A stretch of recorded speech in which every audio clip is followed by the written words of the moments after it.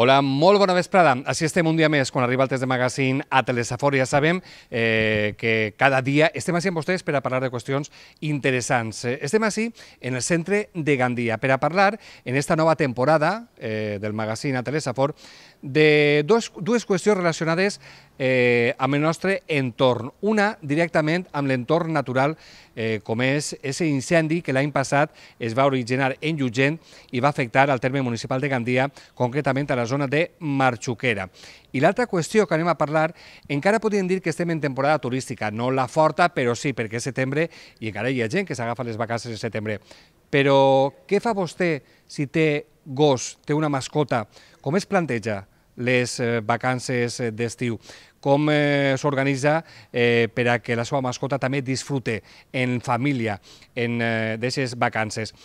Estos dos temes han estat analitzats, treballats, investigats per dues estudiants eh, del campus de Gandia de la Universitat Politécnica de València en els seus graus respectius. I anem a parlar d'aquestes qüestions, com dic, en el test de magazine, amb els protagonistes que ja ens acompanyen. Ella és, eh, en el cas del eh, treball relacionat amb l'incendi, Daniela Lursen, que es graduada en Ciencias Ambientales. Daniela, buenas tardes. Buenas tardes. Bueno, tu trabajo realmente de final de grado es afecciones en la cubierta en el incendio de Marchuquera a partir de imágenes de satélite. Ahora nos dan los detalles i l'altre treball que comentava de les potencialitats del turisme amb mascotes ha estat eh, realitzat per aquesta jove Pauna Rumenova, que és graduada en gestió turística. Pauna, buenas tardes. Buenas tardes. Bueno, eh, queremos que nos deis los detalles eh, de estos dos temas tan interesantes. Així és que ja saben de què anem a parlar i amb qui anem a parlar en el test de magazine avui a Telesafor.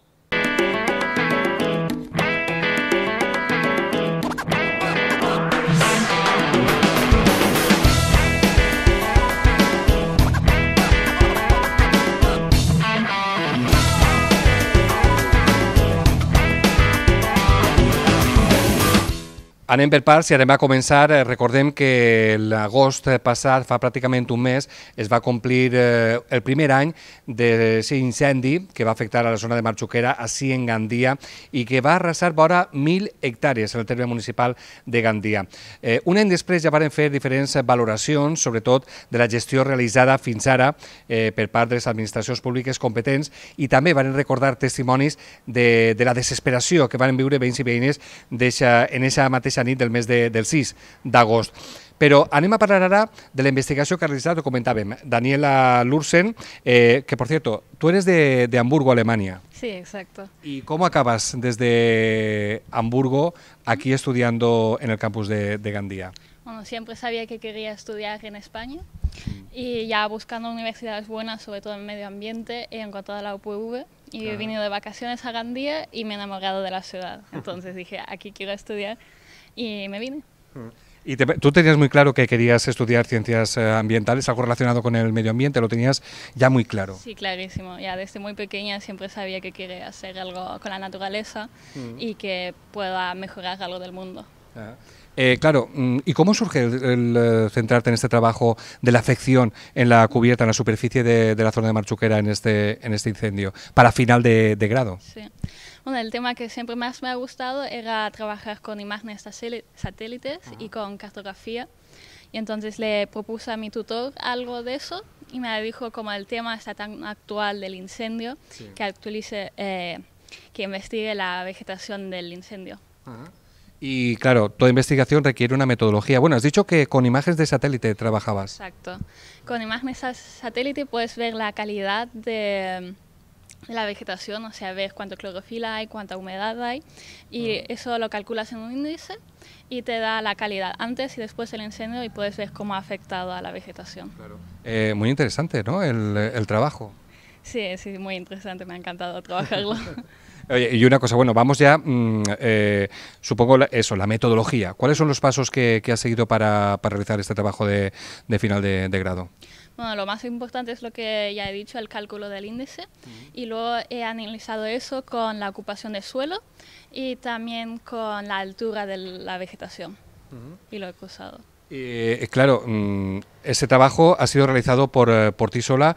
Eh, ¿El profesor que te ha dirigido el trabajo, quién es? Jesús Martí Gavila. Y claro, todo trabajo de investigación tiene unas conclusiones. Eh, ya hemos hablado en otras ocasiones eh, y creo que mm, el, porcentaje es bueno porque creo que tú hablas de un 70% de esa superficie con una afección baja o completamente recuperada. Coméntanos un poco este, este tema de, en cuanto a las conclusiones del trabajo. Sí, o sea, lo bueno es que la vegetación que se ha quemado es vegetación esclerófila, significa que está acostumbrada a periodos de mucho calor, de sequía, y también se recupera bastante bien porque está acostumbrada a incendios y fuegos. Y, en cuanto a especies, eh, también nos puedes eh, nombrar algunas, las especies que más eh, fácil se han recuperado o han salido más beneficiadas, por decirlo alguna, de alguna forma, en esa recuperación. Sobre todo los alcornoques. rebotan muy muy bien porque tienen un corcho que los protege y entonces no se mueren, sino que rebotan inmediatamente. no sé, mm, ¿cuánto tiempo has, has estado trabajando en este, en este trabajo de investigación? ¿Cuánto tiempo te ha llevado? Empecé a trabajarlo en marzo y terminé ahora en junio, finales de junio. Eh, claro, mucha gente habrá dicho eso de imágenes eh, de satélite eh, es algo complicado porque a aquellas personas que no que estamos que no controlamos esta cuestión nos viene a la cabeza una sala con miles de, ordenadores como en plan laboratorio de la NASA. ¿Cómo es trabajar con, ese tipo de, técnica, de tecnología? Es bastante fácil porque se pueden descargar las imágenes tal cual de la ESA y luego hay programas que utilizamos para trabajarlo. Y bueno, los programas se hacen casi todo automático. Le tienes que poner todos los parámetros y ya calculas y puedes calcular, por ejemplo, con dos imágenes y sacar una media o lo que sea. Eh, tú has dicho, Daniela, que llevas cuatro años aquí en Gandía, el tiempo que, has estado estudiando en el, campus del grado. Eh, no sé si antes de trabajar para este final de trabajo, final de, grado, ya conocías la zona de Marchuca, era la que eh, se quemó. ¿Conocías ya esa zona o la descubriste a raíz del trabajo? O sea, he ido una vez a hacer senderismo ahí, pero no sabía muy bien qué había ahí, ni las plantas, ni nada de eso. Entonces, un descubrimiento, sabes, ya habrás, eh, tendrás conciencia plena del valor ¿no? medioambiental de esta, de esta zona. Sí, totalmente. Mm. Oye, y ahora eh, tú has acabado ya, ya eres licenciada, eh, graduada. en este caso, ¿vas a seguir? ¿Cuál es tu futuro? ¿Vas a seguir formándote? Sí, ahora voy a hacer un máster en Holanda en gestión urbana ambiental, que va a tardar dos años y después ya a trabajar. ¿Tu futuro laboral lo ves en Alemania, aquí, o donde salga? Todavía, no lo sé todavía. Pero me podría imaginar vivir aquí en España. Me ha gustado mucho. Eh, una cosa, gestión urbana, has dicho, el máster. Sí, exacto. Eh, ¿Qué es lo que se trabaja? Nos podemos imaginar, sabemos lo que es gestión, lo que es urbana, pero eh, realmente, ¿qué es lo que, ¿en qué se centra el trabajo? Es todo lo que tiene que ver con los humanos y la naturaleza en la ciudad. O sea, por ejemplo, el agua que gastamos hay que limpiarlo y también áreas verdes en la ciudad y son todo lo que tiene que ver con la naturaleza en la ciudad es lo que voy a tratar ahí. Interesante. Sí. Como tú tienes muy claro que lo tuyo va por el, eh, todo el análisis y el trabajo relacionado con el, con el medio ambiente. Sí, desde siempre lo sabía. Oye, supongo que eh, ya para ir cerrando esta charla, Daniela, mm, tu experiencia en el campus de, de Gandía, puedes hacerme una valoración. Eh, si te ha sorprendido porque has encontrado más de lo que esperabas en algún aspecto, ¿has echado algo en falta? Mm, tu experiencia con el campus de Gandía de la Universidad Politécnica de Valencia. Lo que más me ha gustado es todos los trabajos prácticos, porque son grupos tan pequeños que realmente puedes hacer algo y en todas las asignaturas hacemos algo práctico, vamos al laboratorio, vamos realmente a la naturaleza a hacer cosas y realmente he aprendido a hacer algo que mm. no sabía que la universidad es tan práctico y no solamente teórico. Mm. Eh, ahora que me estás dando esta respuesta, me has hecho recordar que entrevistamos también en otro magazine a otro compañero, eh, Carlos, que venía del norte, exactamente no recuerdo, que hizo un eh, final de eh, un trabajo de investigación también, creo que era final de grado o de máster, no recuerdo ahora, que era sobre el tema del emisario submarino y eligió el campus de Gandía porque era el único sitio donde hacían prácticas de submarino. Es decir, que es llevarte al terreno, ¿no? Es lo mejor. Sí, en los del máster ya se van al mar y bucean para ver el emisario mm. y es genial eso. Perfecto. Eh, Daniela Lursen, muchas gracias por, eh, por, acompañarnos, por compartir y gracias por ese trabajo, por preocuparte por, eh, en este caso, eh, por el medio ambiente en la zona de Marchuquera, por afección y eso ayuda siempre a saber cómo se va recuperando y a mejorar, a gestionar eh, esa, esa, recuperación de, este, de esta zona. Muchas gracias, Daniela. Gracias por tenerme aquí. Pues nada, y de Daniela anem a parlar ara amb Pauna per a saber el que comentàvem al principi. Eh, vostè, té una mascota en casa, segurament serà conscient del problema o almenys tindre en compte de a l'hora de plantejar-se les vacances per anar amb la mascota, perquè és part de la família.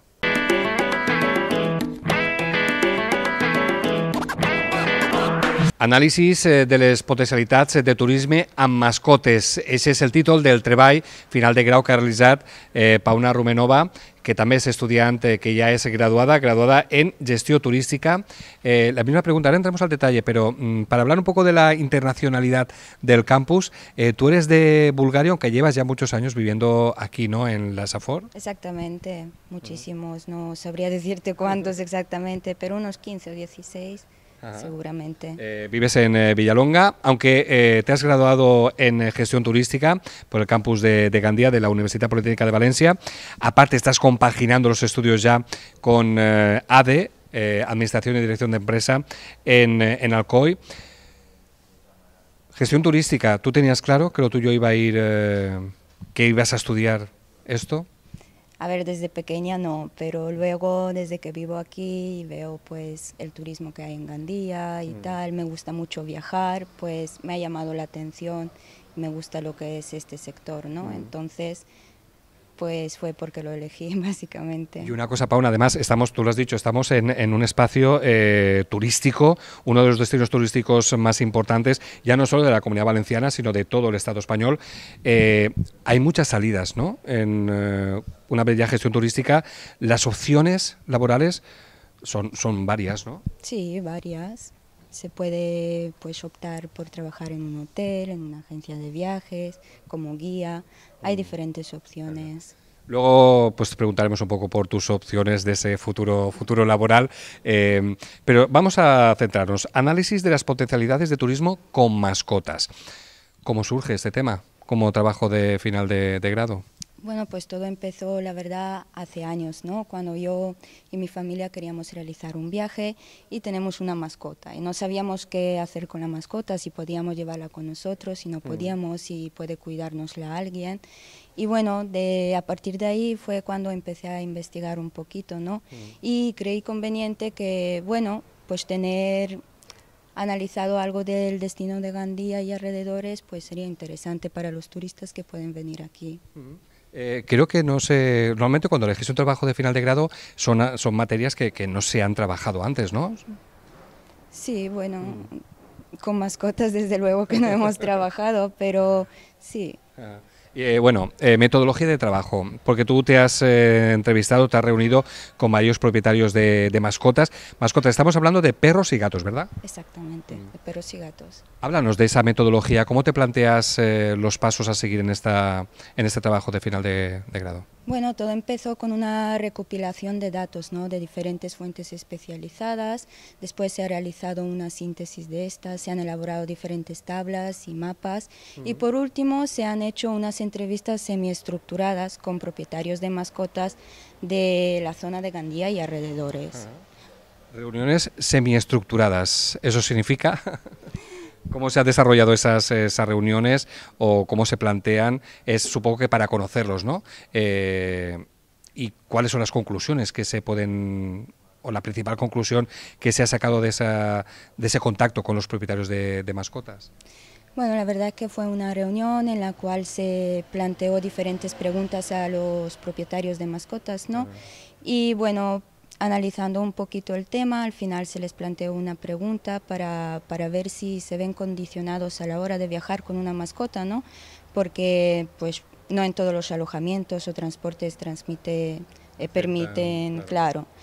Y bueno, la respuesta que conseguimos fue que efectivamente se ven condicionados a la hora de viajar, pero más por el tema del transporte uh -huh. que por los alojamientos. Los alojamientos, bueno, pues hay diferentes tipos, ¿no? Y pueden elegir. Transportes también hay diferentes tipos, pero como que prefieren más el coche, el coche propio, puesto que las empresas suelen poner bastantes condiciones. Mm. O sea, que no, no, no se fían o no tienen mucha confianza en las condiciones ¿no? de, de, los medios de transporte para, para desplazar a la mascota. Exactamente. En general es por el lugar donde se sitúan las mascotas a la hora de viajar en esos transportes, ¿no?